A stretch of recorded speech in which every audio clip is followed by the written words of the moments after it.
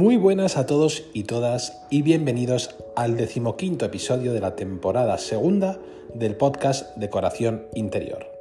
Mi nombre es Endica y estoy encantado de estar aquí para informaros, entreteneros y abrir una puerta en el maravilloso mundo de la decoración de interiores.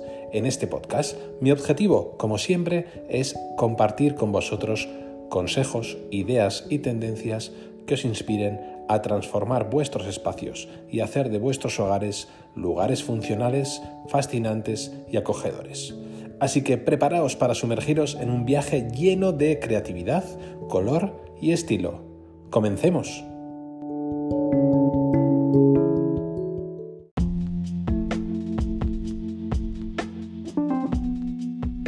Podéis seguirme en mi Instagram con la dirección endica barra baja ro. Hoy vamos a hablar sobre un tema que se ha vuelto fundamental en nuestros hogares, el diseño del espacio de trabajo en casa.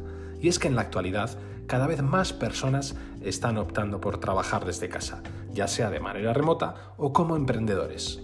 Por ello es crucial crear un ambiente que promueva la productividad, la comodidad y el bienestar.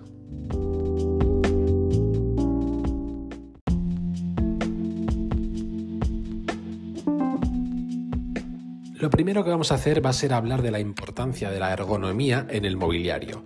Es fundamental contar con una silla y un escritorio que se ajusten a nuestras necesidades físicas, evitando así problemas de salud a largo plazo.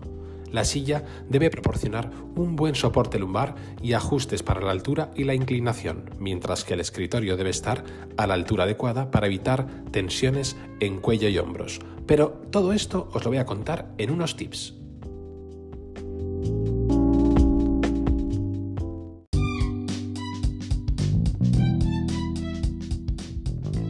Vamos allá con los tips que tengo preparados.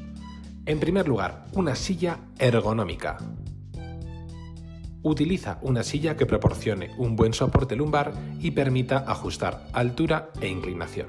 La espalda siempre en postura natural y cómoda, sin tensiones ni sobrecargas. 2. La altura del escritorio. El escritorio debe estar a una altura que permita mantener los codos en un ángulo de 90 grados al escribir o al utilizar el teclado. Esto ayuda a prevenir la tensión en los hombros y en los brazos. Tercer tip, posición de la pantalla. La pantalla del ordenador debe estar a la altura de los ojos, de modo que no sea necesario inclinar ni girar el cuello hacia arriba o hacia abajo para verla. Utiliza soportes o elevadores si es necesario para ajustar la altura de la pantalla. El cuarto tip sería distancia y ángulo de visión. La distancia entre los ojos y la pantalla debe ser aproximadamente pues de un brazo extendido. Además, la pantalla debe estar ligeramente inclinada hacia atrás para reducir el deslumbramiento y la fatiga visual.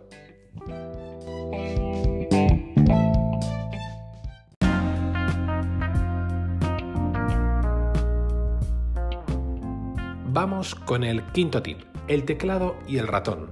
Coloca el teclado y el ratón a una distancia que permita mantener los codos cerca del cuerpo y en un ángulo de 90 grados. Utiliza una alfombrilla para el ratón que proporciona un soporte suave y firme para la muñeca. Otro de los temas importantes es el sexto tip, la iluminación. Y es que una iluminación adecuada es crucial para reducir la fatiga visual y mejorar la concentración. Trata de aprovechar al máximo la luz natural, pero también asegúrate de contar con una iluminación artificial adecuada, con luces suaves y difusas que no produzcan sombras ni reflejos molestos en la pantalla.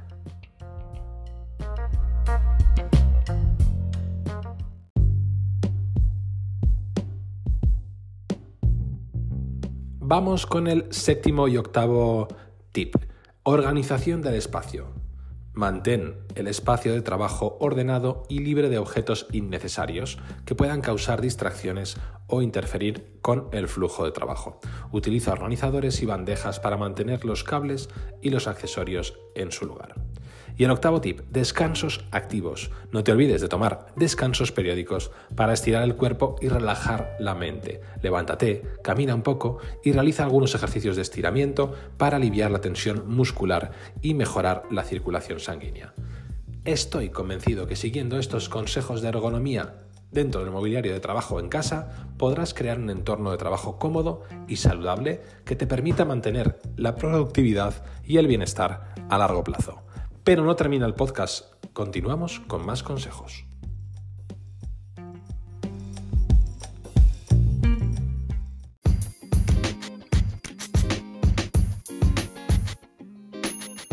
hemos visto la importancia de la ergonomía dentro del mobiliario, pero es que además maximizar el espacio en áreas pequeñas es todo un desafío. Exploraremos estrategias para aprovechar al máximo cada centímetro cuadrado, desde utilizar muebles multifuncionales hasta aprovechar la verticalidad de las paredes con estanterías flotantes o colgantes. La clave está en encontrar soluciones inteligentes que nos permitan tener todo lo que necesitamos sin abarrotarlo de espacio.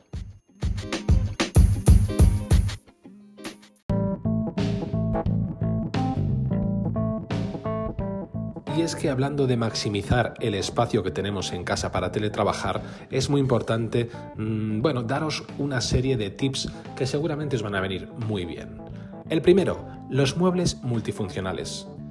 Opta por muebles que tengan múltiples usos, como un escritorio con estanterías integradas o una mesa plegable que se pueda guardar cuando no esté utilizado. 2. Organizadores de pared. Instala estanterías flotantes o colgantes en las paredes para aprovechar el espacio vertical y mantener tus documentos y materiales de trabajo ordenados y accesibles. 3. Espacios ocultos. Utiliza muebles con espacios de almacenamiento ocultos, como otomans o mesas de centro que tienen compartimentos internos. Así podremos guardar objetos que no necesitas tener a la vista todo el tiempo. Tirar también del mobiliario ajustable. Cuarto tip. Considera invertir en muebles con opciones de ajuste como escritorios o estantes con alturas regulables para adaptar el espacio según tus necesidades y preferencias.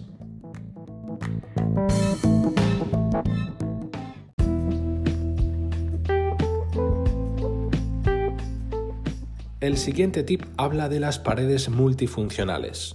Usa paneles de corcho, pizarras o paneles magnéticos para organizar tus tareas, colgar notas importantes o exhibir inspiración creativa, aprovechando así el espacio vertical. Como hemos dicho antes, es muy importante la iluminación inteligente Instalar luces empotradas o lámparas de pared que no ocupen espacio en el escritorio proporciona una iluminación adecuada para poder trabajar sin causar sombras ni fatiga visual. El mobiliario plegable es otro de los temas que se podrían perfectamente tratar, ya que el espacio a veces suele ser limitado y sería bueno considerar utilizar muebles plegables que se puedan guardar fácilmente cuando no se esté utilizando, como por ejemplo sillas plegables o mesas auxiliares. Y me diréis, ¿qué hacemos con los espejos? Muy interesante colocar espejos estratégicamente en el espacio para crear una ilusión de amplitud y luminosidad, haciendo que el espacio parezca más grande y más acogedor. Y dos últimos tweets serían la colaboración vertical, utilizar organizadores de pared con ganchos o compartimentos para colgar objetos como bolígrafos, notas adhesivas, auriculares, Así liberamos el espacio del escritorio. Y ya por último, el minimalismo funcional, que es adoptar un enfoque minimalista en la decoración y en la organización de tu espacio, manteniendo solo los elementos esenciales y evitando acumulación de objetos innecesarios que ocupen espacio. Estoy convencido que siguiendo estas estrategias podrás optimizar el espacio de tu área de teletrabajo en casa y crear un entorno funcional, organizado y acogedor Así aumentarás tu productividad y bienestar mientras trabajas desde casa.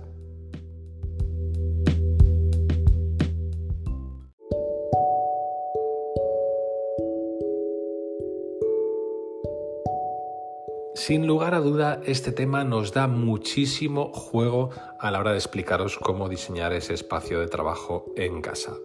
Eh, la integración de elementos de diseño que fomenten la concentración y la creatividad también es clave. Por ejemplo, los colores suaves y neutros, como los tonos blancos, los grises, los beige, pueden ayudar a crear un ambiente tranquilo y relajante, mientras que toques de color en accesorios o elementos decorativos pueden añadir vitalidad y energía al espacio. Como os he dicho antes e insisto en ello, la iluminación juega un papel crucial. Luz natural, la mejor opción siempre que sea posible, pero en caso de no tenerla, una buena iluminación artificial es adecuada para no tener fatiga. También en otro próximo podcast abordaremos consejos prácticos para separar el espacio laboral del personal, muy importante también, manteniendo así un equilibrio saludable entre trabajo y vida personal. Establecer límites claros entre el área de trabajo y el resto de la casa puede ayudar a mantener la concentración y a desconectar al final de la jornada laboral. Además, mantener una rutina diaria y establecer horarios definidos para trabajar y para descansar puede ser de gran ayuda para mantener la productividad y evitar el agotamiento. En resumen, diseñar nuestro espacio de trabajo en casa va más allá de simplemente colocar un ordenador en una esquina se trata de crear un entorno que nos inspire, nos motive y nos ayude a alcanzar nuestros objetivos profesionales. Espero que estos consejos hayan sido de utilidad para mejorar tu experiencia laboral en casa. Nos vemos en la próxima edición de Decoración Interior, tu podcast de decoración y en el que te ofrecemos pequeños consejos para que puedas aplicarlos en tu vida diaria. Nos vemos en el próximo capítulo de Decoración Interior.